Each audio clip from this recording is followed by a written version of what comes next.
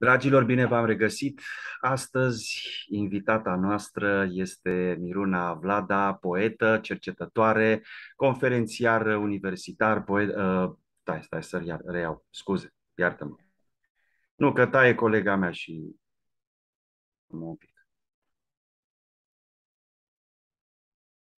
Dragilor, bine v-am regăsit la o nouă ediție a rubricii Cărți deschise pentru minți deschise. Astăzi, alături de noi, este poeta Miruna Vlada, conferențiar universitar, doctor, de asemenea profesor asociat la SNSPA, cercetător. Și astăzi vorbim despre un subiect, un subiect foarte important, un subiect despre care noi am mai discutat, dar iată, cu bucurie revenim pe acest subiect. Este vorba despre apartenența și pornim discuția noastră pe marginea cărții Apartenența, cum să redobândim sentimentul de apartenență prin conectarea cu sine, cu ceilalți și cu natura de Tocopa Turner. Vă mărturisesc uh, sincer, uh, pentru că am întrebat-o uh, pe Miruna, cum a simțit această carte, cum a simțit această uh, autoare și ne-am gândit uh, să ne aplecăm asupra două subiecte, spun eu, foarte importante. Din această carte este vorba despre marea uitare, dar și despre pierderea femininului și regăsirea sensului în comunitate, pentru că vorbim aici uh, despre o valoare foarte importantă ca ființe sociale, este vorba despre sentimentul de apartenență. Miruna. Eu îți mulțumesc foarte mult pentru invitație, pentru că, într-un fel, uh, am simțit că era o carte de care aveam nevoie. Trec așa printr-o perioadă de transformare, să zic așa, și multe din, uh, multe din elementele de aici din carte pot spune că erau intuiții, dar când le vezi și documentate și explicate, uh, parcă așa, ai așa o senzație de întreg și de, de înțelegere mai bună. Uh, ce apreciez, ce am apreciat foarte mult la Toco Turner este că uh, a mers și către investigațiile de cercetare științifică, da? Deci uh, ea este și o foarte bună cunoscătoare a școlii Junghi junghiene și și-a petrecut o parte din timp lângă uh, psihologii junghieni uh, și zona asta de explorare a viselor și a miturilor arhetipale. Uh, are și acest backup științific. Eu, într-adevăr, iubesc literatura, iubesc poveștile. Ea este aici o mare povestitoare, își povestește visele, povestește uh, visele oamenilor apropiați sau um, evenimente ale clienților ei, ceea ce, iarăși, face lectura să fie despre oameni, nu despre uh, Uh, așa, cai vex pe pereți, uh, dar um, inserează și explicații care să zicem așa, sunt și validate uh, științific și chestia asta trebuie să spun că m-a, m-a atras foarte mult. Asta pentru că la prima vedere eu m-am identificat foarte mult cu ce descrie ea așa ca spiritul vremurilor noastre, da? Persoana sceptică care începe și reneagă orice ține de uh, natură, orice ține de comuniunea cu ceilalți. Hai de domne, mai lăsați-ne cu prostiile astea. Iar s-a mai trezit un șaman care să ne explice despre ce vorba. Adică și exact așa cumva genul ăsta de atitudine uh, parțială o, o aveam și eu, uh, până când uh, te învață de fapt să-ți chestionezi da, această reacție și să încep cu întrebarea, dar de ce resping atât de mult acest lucru? Adică mi-a intrat uh, logica asta a consumerismului și a materialismului atât de mult în fibra uh, ființei mele încât ajung uh, să, să privesc natura, să privesc uh, comunitatea ca pe o anomalie uh, și în sensul ăsta eu știu că nu se face, dar vreau să citez um, versul cu care se termină cartea mea de anul trecut, prematur, pentru că um, mi s-a mi s-a părut extraordinar. Eu am finalizat-o în perioada pandemiei, dar nu e scrisă neapărat în pandemie, dar versul de la finalul cărții spune familia este individul acoperit de un plexiglas. Uh, și, bine, paradoxul ăsta al unei familii făcute de un individ singur și încuiat da, în, într-o lume a lui de plexiglas, uh, cumva cred că ține și de acea intuiție care de fapt m-a făcut să citesc cartea cu, cu multă plăcere.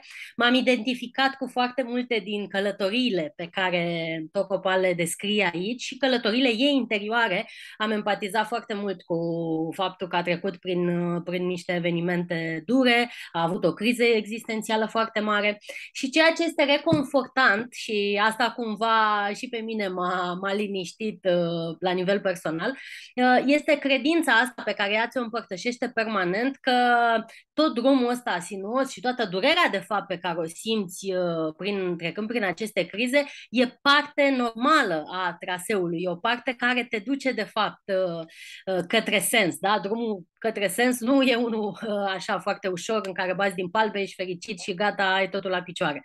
E, e un traseu cumva menit să, să știi că te duce undeva mai sus, da? un mai sus diferit pentru fiecare și uh, mi, s-a, mi s-a părut interesant interesant că, pe de-o parte, prin poezia mea, uh, eu am, uh, um, uh, am descris așa drama asta prin care trece individul contemporan și, și cât de greu e individualism în volumul meu prematur, de altfel, vorbesc și despre problema femeii în această lume da, individualistă și dorința ei de apartenență, dar care este foarte foarte mult confiscată ideologic și despre chestia asta poate o să și poate o să vorbim mai detaliat, că ai spus că ai vrea să vorbim despre pierderea uh, femininului. Eu am mai multe lecturi și inclusiv aici mi-a fost reconfirmat, sigur, știu această perspectivă psihologică care spune că există energia feminină, energia masculină și foarte multe femei uh, care beneficiază de feminism și care merg pe zona aceasta de trebuie să fiu autosuficientă, trebuie să fiu puternică, să mă descurc, să am un salariu, n-am nevoie de un soț să mă valideze, n-am nevoie de copii ca să fiu femeie, um, n-am uh, nevoie de ceilalți, da? Uh, toate aceste elemente care de la un punct încolo au ajuns excesive și scăpate de sub control, duc clar la sucombarea energiei femininului, la accesul la acea lume nevăzută despre care vorbește Tocopa în această carte, uh, o lume nevăzută la care femeile au un acces privilegiat. Și aici e un lucru interesant, da? Marea vrăjitoare, da? Uh, femeile care se ocupau de toate aceste ritualuri ale contactului între lumi, da? între uh, lumea nevăzută și cea văzută, toate aceste puteri s-au pierdut, da? s-au sucumbat și femeia contemporană, uh, iarăși, filtrată foarte mult ideologic, da? taxând astea ca niște fantasmagorii ale trecutului, uh, pierde, își pierde o parte din roluri, își pierde o parte din uh, modul de înțelegere a lumii uh, și, uh, clar, sunt, uh, sunt niște lucruri care uh, au un efect asupra uh, persoanei, da? nu întâmplător, dar avem niște cele mai mari rate probabil de, de depresie, de uh, uh, probleme de identitate cu care se confruntă femeile în zilele noastre și uh, ele pornesc ca sursă de aici. Deci eu cred că e o carte care le provoacă foarte mult pe gânditoarele feministe. Au fost multe momente în care și eu am fost, uh, eram ușor enervată de argumentele astea pentru că uh, există și multă construcție socială în ideea asta. Vai, ai o energie feminină pe care trebuie să ți-o descoperi, trebuie să fii mai languroasă, trebuie să fii mai axată pe nevoile celorlalți. În urechile unei feministe chestiile astea sună nasol, da? da? sună conservator, sună, a, adică eu trebuie să mă comport într-un fel anume ca o femeie care îi servește pe ceilalți. Uh, dar, de fapt, uh, aprofundând lectura, deci dacă nu abandonezi cartea și rămâi acolo și citești atent, vezi de fapt că și Tocopa este o, o feministă, o, o femeie care de altfel, sigur, respectă și, și luptă de fapt pentru dreptul femeilor la, la împlinire, uh, doar că încearcă să spună în perspectivă și să înțelegi de fapt uh, că, dincolo de partea ideologică, este și o nevoie personală, este o nevoie a femeii de a-și folosi aceste atribute într-un mod care, evident, să îi aducă și ei uh, bucurie și plăcere. Nu e ideea de a te comporta așa doar pentru a, că așa ți-au cerut-o ceilalți, doar pentru a performa un rol social. Și cred că aici este problema. Eu mi-aduceam aminte de sfaturile pe care mi le mai dădea bunica mea maternă, care m-a și crescut, și ea avea sfaturile acelea, sigur, tradiționale, să uh, fii atentă, să nu ridici glasul, să uh, vezi mai întâi ce au ceilalți nevoie și după aia ce ai tu nevoie. Chestii de-astea care uh, acum, da, le-am revizuit și mi se păreau uh, deplasate. Ia uite, domne, mă învățau să, mă învăța să fiu ca un porțelan, uh, atentă numai la nevoile altora. Uh, și uh, acum mărturisesc că după lectura cărții uh, are uh, înțelepciunea acestor vorbe, de fapt, are un alt sens, da? Și uh, ea se referea la uh, bucuria pe care eu o voi regăsi uh, în a fi atentă la nevoile celorlalți, pentru că din această atenție și ceilalți învață să fie atenți la nevoile mele și să mi le satisfacă și de altfel atenția asta vine înapoi către mine. Dar așa, dacă eu mă gândesc exclusiv la nevoile mele și ignor pe ceilalți, la fel vor face și ceilalți. Da? Și ajungem, de fapt, o societate atomizată, uh, o societate uh, în care individul vrea să fie totul pentru el însuși ceea ce este extrem de periculos, e cumva, aș știnde să spun, chiar nașterea și a unei personalități din astea dictatoriale, da? doar dictatorii doresc să fie totul pentru toți, da? ceea ce este evident o dereglare, un element patologic. La fel și individul zilelor noastre care da, vrea să-și satisfacă el însuși absolut toate, toate nevoile și îi consideră pe ceilalți dispensabili da? Uh, sau uh, doar ca niște, ca niște obiecte de uh, uz personal pentru propria plăcere. Și asta, într-un fel, cred eu, iarăși filtrat ideologic, că este o consecință a capitalismului. Da? Um, capitalismul duce, într-un final, către genul acesta de comportamente, către... pentru că fără competiție exacerbată și fără individualism nu poți să, să ai o generare masivă de capital. Și atunci atunci ideologia care mm, hrănește acest, această lume trebuie să pună foarte mult accent strict pe satisfacția nevoilor tale. Doar asta face sistemul să funcționeze. Ori, Pentru... Uh, atunci dispare apartenența. Când avem individualism exacerbat, dispare apartenența. Pentru o femeie, care este legătura între sentimentul de apartenență și, iată, regăsirea sensului în comunitate? E foarte interesant că Tocopa vorbește despre marea uitare, da? deci despre alienarea prin care trecem, fiecare în alte forme, desigur. Ea o descrie pe ei, dar și alte forme. Marea uitare fiind tocmai acea desprindere a noastre de natură, de comunitate și, de fapt, la bază, de propriile nevoi. Deci în momentul în care uh, tu ești desprins uh, de, de natură și de ceilalți, uh, tu lucrezi împotriva nevoilor tale și a plăcerilor tale și n-ai cum de fapt să fii uh, fericit. Da? Uh, și uh, tot în contextul ăsta al marii uitări a sensului, a intuiției pe care mereu o calci în picioare și noi de bună, ignorarea viselor, da? pentru, și pentru psihologia jungiană și uh, pentru acest mod de a vedea lucrurile, visele de fapt sunt un instrument extraordinar pentru că ele sunt legătura, ele sunt limbajul da? care ne se dezbară de conștient și folosește subconștientul ca să ghideze, de fapt. Dar dacă noi luăm în derâdere și nu considerăm importante uh, visele, atunci e ca și când uh, am anulat semnele de circulație, da? Și le aruncăm pe drum uh, fără să vrem să vedem niciun semn de circulație. Și ea în contextul ăsta vorbește și despre dorul sacru, da? Tocmai, tocmai în contextul ăsta al senzației că îți lipsește ceva fundamental, dar pe care tu nu-l poți verbaliza, da? Și care iarăși, dacă nu acorzi, dacă nu investighezi foarte profund și nu ai o perioadă de recluziune de, uh, și de lipsă de ipocrizie, da? de a nu-ți fi rușine să îți pui sub semnul întrebării uh, toate, toate aspectele importante ale vieții tale, atunci ai putea să vezi că, uh, deși, nu știu, ai acumulat foarte mulți bani, ai acumulat diplome, da? ai bifat elemente sociale da? care păreau să-ți aducă succesul, ești în continuare nefericit. Și răspunsul uh, posibil este pentru că tu ești înstrăinat, da? Tu, ție, ție este ceva înăuntru tău, acea parte a sacralității din, din fiecare, uh, este dor de apartenență, este dor de sensul pe care îl dau uh, ceilalți. Iar pentru, sigur, pentru o femeie lucrul acesta, uh, pe de-o parte, uh, poate, se poate manifesta și în cadrul familiei, dar ceea ce este important și uh, mărturisesc că și aici am rezonat mai bine cu ea, ea nu are copii și mărturisește asta de, de mai multe ori în carte și spune că, uh, sigur, bucuria maternității, sigur, pentru unele femei duce către zona asta de apartenență, dar ea poate avea și, și alte forme și aici am rezonat foarte bine. Uh, ideea, până la urmă, de, de familie ca parte a unei comunități, da?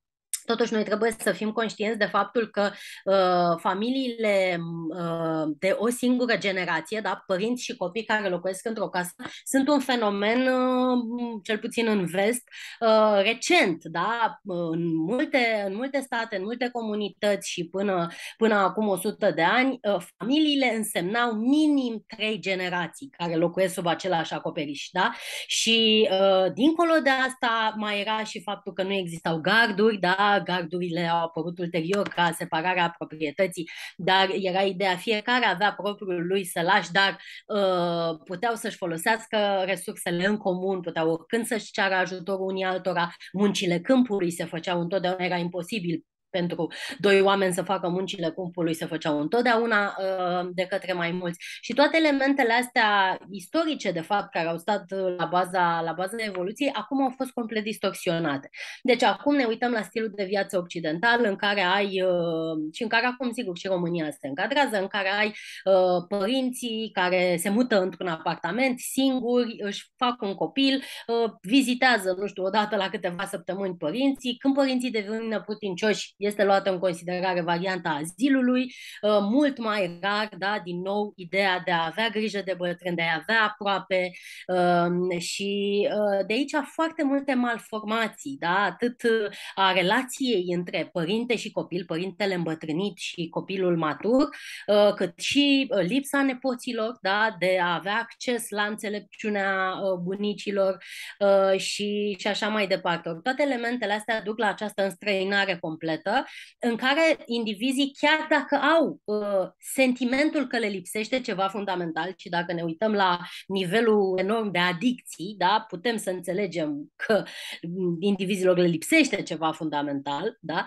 și sigur, Gabor Mate și alții care au scris pe zona asta au explicat uh, foarte bine uh, care este structura și cum se, cum se manifestă aceste dezechilibre uh, și putem să, putem să vedem că, într-adevăr, uh, dorul sacru este uh, prezent, dar este complet ignorat da? de, de societatea contemporană. Și un lucru pe care l-am înțeles foarte important din cartea asta este că noi ne uităm foarte mult la uh, devenirea noastră ca la un puzzle uh, și noi trebuie să găsim loc liber din puzzle. Uh, și să-l rezolvăm, da, sau să facem ceva cu el. Uh, și uh, când vorbim despre apartenență, mereu ne uităm la a aparține unui grup, unei societăți, unor rigori. Și, de fapt, marea, marea miză este de a-ți aparține ție însuți. Apar-